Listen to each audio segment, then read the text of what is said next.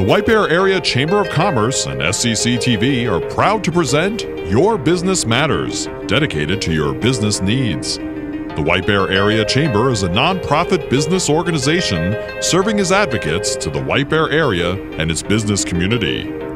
Now, here's the executive director of the White Bear Area Chamber and the host of Your Business Matters, Tom Snell. Welcome to Your Business Matters, brought to you by the White Bear Area Chamber of Commerce. Each month, we interview community leaders and local business owners so you can be informed about the developments in our community. I'm pleased to welcome Patty Hall, the founder of H2O for Life, a 501c3 nonprofit organization located in White Bear Lake.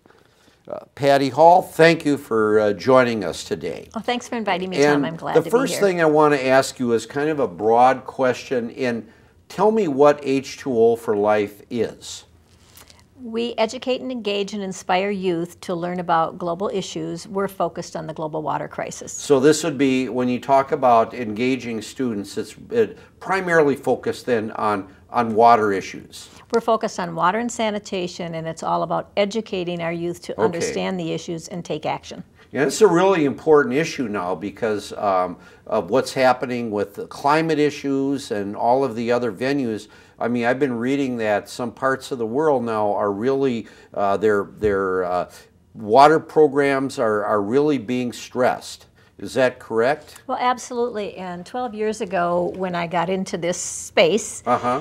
I don't think people were talking a lot about water. No, they weren't. But recently, water is scarce in many places, not only in Africa and developing world countries, but in our own United States as well. Really, in the United States. Well, you can think of the problems in Flint, Michigan.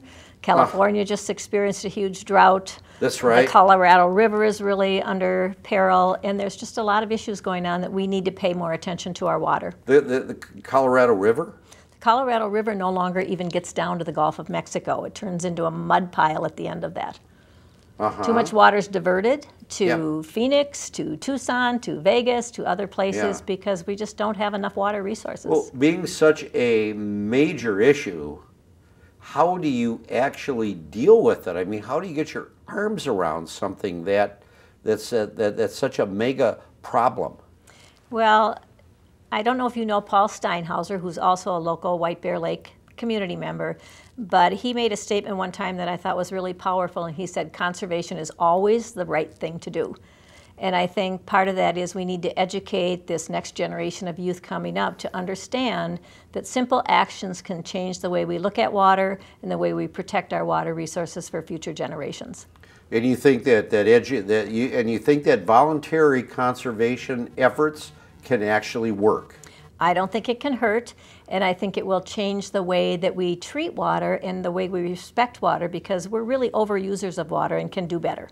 Yeah, I, I mean, I agree with that. Now, some of the things that uh, H2O for Life does in our local community, uh, give me a couple of examples of that. Okay, well, a few years ago when White Bear Lake was really at its low level, Yes. and it was a very contentious issue in the in the White Bear area That's with right. those that were fighting against what we should do to the lake and other factions that came in.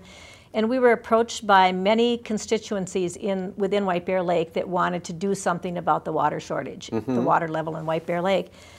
So we worked with the school districts and we worked with um, the mayors in the communities to talk about what could we really do that would be a starting point for water. We were fortunate to have Senator Wiger and Representative Fischer come And they're on local board. representatives, were representatives. representing the White Bear, uh, kind of the White Bear area. And they were able to secure some legislative funding, which allowed us to create a program called Race to Reduce, which is run by H2O for Life, so it's under our doors. But we worked with the teachers in White Bear Lake schools and Mahtomedi schools to develop curriculum that's aligned with standards, so it's standards-based curriculum that's embedded in classrooms, so that every classroom is designed K through 8 by the time we're done designing this to talk about water sometime every year. Mm-hmm. The only way we're going to change behavior is if we talk about it consistently, not just once and hope that it stuck. Now, uh, what are, uh, when you talk about curriculum that was developed, how exactly did that get down to the local level? What are some of the things that the students actually did uh, as far as activities that focused on water conservation in our community? Well, for example, in the, in their elementary K through 5 school, they had a whole day planned on environmental issues within the community. And students during that day did some water monitoring activities where Mm-hmm. they actually gathered water from the lake. They did several tests to see what the quality of our water was like. They set goals of how they could reduce their local water use. The high school in Mahtomedi built a rain garden, and the kids were responsible Oh, for okay. taking care of that. And White Bear Lake had many programs going on in their schools. Um, Matoska International School had rain barrels collecting water from their roofs. And the kids filled up their jugs, and instead of going to the lake and taking water out of the lake for a walk for water, they carried the water from their rain barrels and ceremoniously dumped it into the lake. Oh, So it was getting kids to think about it and the simple things like turning off the water when you brush your teeth. And one of Mm-hmm. the um, curriculum ideas that we worked with with the EPA was to put um, water monitoring into classrooms in fourth and fifth grade where kids went home and did a household audit. They were given the tools to check to see if their toilets leaked, they measured if there were drips in their faucets, and then came back to the school and shared the results. And the amazing Wow. thing was that kids said, Oh, my dad decided that our toilet was leaking, so we went to the store and we got the parts we needed, and now it doesn't leak. So, leaks are a huge source of water loss, and just getting people to pay attention to it, I think, really makes a difference. Yeah, because uh, again, we don't think, particularly in Minnesota, that we have a water issue. Right, right.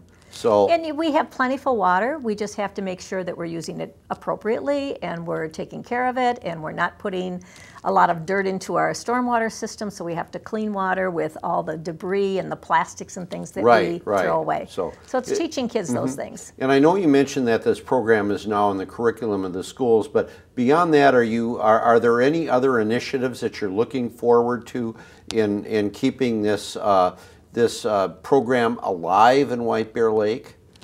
Um, Well, we hope that by having the buy-in from the teachers, because the curriculum was developed in collaboration with teachers, so it wasn't Okay. Something that we developed and put on them.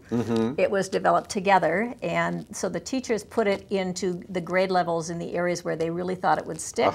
And their commitment is to do that every year, so it should be Uh-huh. Embedded in their curriculum.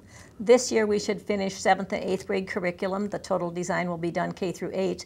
Yep. And then in the high schools, we're looking more at clubs and programs and science classes that'll take pieces of the conservation issue and put it in their Mm-hmm. classrooms. Yeah, One of the activities we did a couple of years ago, um, and that was again due to Paul Steinhauser, who's a big environmentalist, is that he had done a TED talk at Mahtomedi, a TEDx talk on um, And toilets. what's that?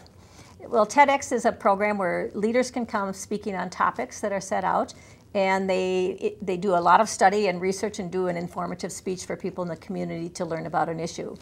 And Paul did a, a speech on toilets and about and he showed seven jugs of water and said this is seven gallons of water that our toilets used to flush this to flush this much urine.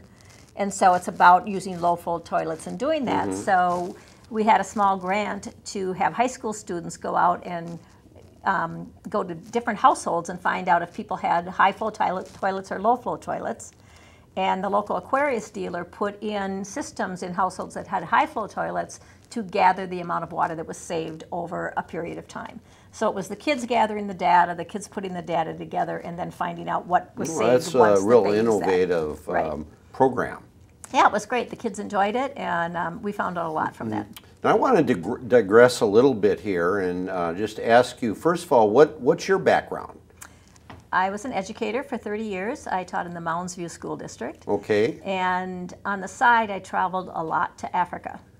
My, Oh, okay. My mother wanted to visit Africa, and so 20 some years ago, we went on our first trip to Kenya and went back on various mission trips, helping build health centers, delivering supplies. And I received a letter from a friend of mine right before I was going back to school one year that said, The kids in our community are dying because we don't have water. really? Do you know anybody who could help us? And I thought about it. It would have been real easy to just say, nope, I don't know anybody. But I thought about the 800 middle school kids that I had at my school and wondered if we could do something. So we mm-hmm. introduced the program to our school. We really learned about water that year. I knew nothing about the global water crisis. Oh, you didn't? No, I had to do a lot of study. I did a lot of research to find out the statistics, what was happening in the world, and together with the kids, we researched it together, and the students raised $13,000 that year to help And this is when? this When was this? This was 2006. Oh, and that, I mean, that's a lot of money. Yeah, the kids did a great job. And the great part was I went to visit the project at the end of the school year because we'd sent the money in the middle of the year. So when I went, I was able to take photos of this wonderful project and bring those pictures back to the students at Highview Middle School. And that was the moment where I think the impact was really huge. Okay. Kids could see that their what they did really changed the lives for other people. Now, uh, you did this, and so how did all of these things emerge into the establishment of H2O for Life? Well, it's just like everything. You meet the right people at the right moment. And I met a gentleman um, when I was at a conference in Albuquerque, New Mexico, and he said, Wow, I didn't know kids could do such great things on such a global issue. And he said, Can you get me 10 schools? Because I have 10 projects. So he challenged me to see if I could get 10 other teachers that would help raise funds for 10 projects. Yeah. And he said, and if you're going to do even one more project, you should become a 501c3 because then you can ask some foundations to help you with some funding. Uh-huh. So that's what we did. And that first year, we had 16 schools join us, and that first year, the schools raised over $115,000 Oh my for water. goodness, wow. So we That's- were on our way. incredible. We were on our Okay, way. go, going from uh, your uh, visit to Kenya and what you did earlier in your uh, career with H2O for Life to now, you mentioned um, some of the things that you've done locally. Um, and uh, you're, uh, you, one of the things I think in your mission statement is that to make people or young people global citizens. Right. And first of all, what do you mean by that? And secondly, what are some of the other water projects that you are involved with um, throughout our, um, our globe? Right. Well, as a teacher, I really saw the impact that participating in a service learning activity had on the students that I was mm-hmm. working with. Number one, 10 or 11 years ago, most of the money that was being raised by kids in schools was to buy band uniforms, to buy a new drum, to do something for the school, and we were not looking outside of our own local community doors. And kids of today are going to be in a global environment. You know, with the internet and with the way our world is working, they can't only live locked in by the corridors of White Bear Lake. So I think this provided an opportunity for students to realize that they really can look outside their own borders and they can really they can make a difference without ever leaving their seats. There's not only that you have to travel someplace and that you have to spend a lot of money to get somewhere to do a global project, but you Sure. can do it within your own community while raising awareness about the issue and taking the action piece. So I think Mm-hmm. it really goes well together. And it connects the local issues with the global issues. And I think that's what we need to be looking at is how do we have local impact and how do we have global impact and how do those two come together? And are, what are some of the other um, areas or school connections that have been made with H2O for Life that might be outside of White Bear? Well, we've engaged um, over 800 schools to work with us across the United States. And kids have raised over $3.5 million Are these 800 for uh, schools worldwide, or are they? Well, most of them are in the United States or Canada, Oh, but we okay. do because of the internet. We have international schools from all over the world that are participating So in our you have program. 800 schools that might be working with communities outside of the United States? Correct. Every school that works with us chooses a partner school, and it's not always a one-to-one funding relationship because projects Sure. are not inexpensive, and every school can't raise a lot of money. But a school can choose a partner in Nicaragua and pledge to raise $500. That goes a long way to helping build that Well, but project. 800 schools, I mean, that's a, that's a big grassroots effort. Right, right. It's it's been amazing to see How what did you ever get 800 schools to participate? Well, we go to lots of conferences, we meet lots of teachers, and what we found is that we were filling a need that teachers wanted to do something globally, but you just can't dial 1 800 Mozambique and find a project. So we were finding schools, and we work with NGO partners, non governmental organizations, that provide all our projects for us. So we Uh-huh. have partners in, in, in um, Nicaragua, partners in Kenya, Uganda, Ethiopia, in 13 different countries that identify the projects. Sure. They're the ones that work with the local recipient community they plan the projects with the community, and we come in and provide half the funding, and the other half of the funding has to come from the local community that's receiving So that means the that they're, project. that means that they're really engaged and make, they have an equity stake. They have to have some and skin in make- the and- game. And so whatever they do is actually going to work. It's not somebody else just doing everything. Right. For them. They You have a know- major, they have an equity stake in Right. its success. We want kids to know that it's not that people are just Yeah. waiting for somebody to come give them a gift. It's Yeah. just that uh, most of the areas we work are rural communities. Could you give me an example of maybe um, some school that you're aware of that part of this project and uh, of these 800 schools might be involved in that can just give people a snapshot Sure. of, of what something has been something that's been accomplished or done? I could give you 800 stories, Okay, well give you just, one. just, just give me give me one or two. That's so right. Last, yes. Last March, I um, escorted 11 high school seniors from California and two teachers to Kenya, and they were visiting the school they funded as seventh graders. So Okay. from seventh through 12th grade, they have chosen a school project every year. But we went back to a school in Kenya Yeah. where they got to see what was done in that school through their efforts. And they visited a school that had a rainwater catchment tank built, latrines built for the students, filtration systems in the school, and a hygiene education program so students learn that washing your hands really can make a difference and can, can change the health of your school. And so these high school girls from LA went out to Kenya, and together they did a water monitoring test at the school Okay. so that they could work with the kids at the school and got to communicate with them. And they got to walk to their current water, the water source that they had prior to the implementation of the project. And they saw that these kids had had to walk a mile to a stream that was a dirty, muddy A stream mile. to get the water to bring back to school. So by providing water and sanitation on the school grounds, kids are able to stay in school. It changes their educational opportunities. It makes a big difference. So how does somebody provide a water uh, program in an area like that? I mean, do they, uh, are, you- are, are you involved in digging wells, or, I mean, But how, we're do- not what do they do? in How do any they of do the that? implementation. So again, Yeah. we work with non-governmental organization Right. partners that know what's going to work in that area because they live there and they work there. So we don't describe what we think somebody should do. They tell Mm-hmm. Us what's going to work for that particular school. And it might be a deep borehole well, it might be a shallow well, it might be rainwater catchment. Whatever system they want, they think is going to work with the school, with the local community, is what we support through the funding. That- That's, that's absolutely, uh, that's absolutely incredible. It really is, Yeah. so. Well, it was good advice from smart people that said, don't ever think you need to go out and drill Okay, wells because okay. we don't know how to do it. In building a, a nonprofit organization like you did, I mean, um, and I give, you know, for you and then for the, the, the volunteers that, that started this. Right. Um, do you have any advice on some things that, uh, that would help other nonprofits maybe? Well, when I started this, it was all through passion of Uh-huh. wanting to. So that's, so passion was very of it. important, okay. It was very important, but it was also um, starting small and taking baby steps and working on your Sure. funding and putting good procedures in place.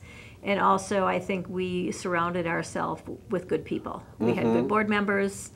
We, the first employees that we hired were very Yep. dedicated, and you just needed to keep in. We didn't try to get too big too fast. Sure. And I think that we um, have added things that we've needed along the way. When we first did this, I didn't even have any curriculum to give to people. The first 10 schools that we did, I gave them like three sheets of paper, Yeah. said, here's the statistics, here's a couple of ideas, go with it. And now we have a full K through 12 curriculum Wow. on our website. So teachers have free access to materials. They, um, we build web pages for every school so that they can host their project on our site. And it's. And- become a pretty big Yeah, program. and, and uh, have you always been a White Bear, as H2O for I Life? have, yes. Um, H2O for Life is located in White Bear, started in White Bear. I've lived in White Bear all my life. So Uh-huh. it's home to me, and we are proud to say we're the international headquarters for H2O for Life in White Bear Lake. That's wonderful. And uh, have you found uh, good uh, volunteer support within our community? Absolutely. You know, White Bear is a great place to live. Um, we just finished a gala event, and our volunteers were amazing because we only have five office staff. So to put on Wow. an event that's going to have 350 people show up, you just planned one, you know that it takes a lot of people to make those things happen. And we've had great volunteers, but I also consider every teacher that we work with our supreme volunteers. Wonderful. They make the work happen. Okay, so if somebody is interested in learning more about H2O for Life or contributing to H2O for Life, uh, how can they go about doing that? Would you give your phone number and your Well, we have a uh, email website. address? It's very easy. Um, it's And w- website. www.h2oforlifeschools.org, and it's H2O F O R lifeschools.org. Okay. And everything is on our website. There's everything that anybody needs to get started, and all of our phone numbers on the website. And we'd be happy to hear from any teacher Wonderful. or any youth that wants to learn more of how they can be helpful. Great. Well, thank you. Uh, Thank you, uh, Patty Hall, for joining me today. Um, And I appreciated you being here. Thank you Thanks for very the much. opportunity. Appreciate it. Yes. Thanks. Okay. Uh, Now I have a quick announcement about an important chamber community happening that's going to take place. It's scheduled for the month of November. On the 13th of November, the White Bear Area Chamber of Commerce will hold its annual legislative reception. It's scheduled from 5 to 7:30 p.m.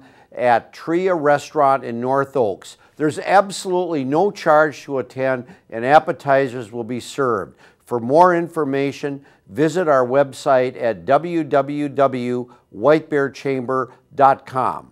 Thank you very much. You've been watching Your Business Matters. For more information on this program or the White Bear Area Chamber, visit whitebearchamber.com or call 651 429 8593.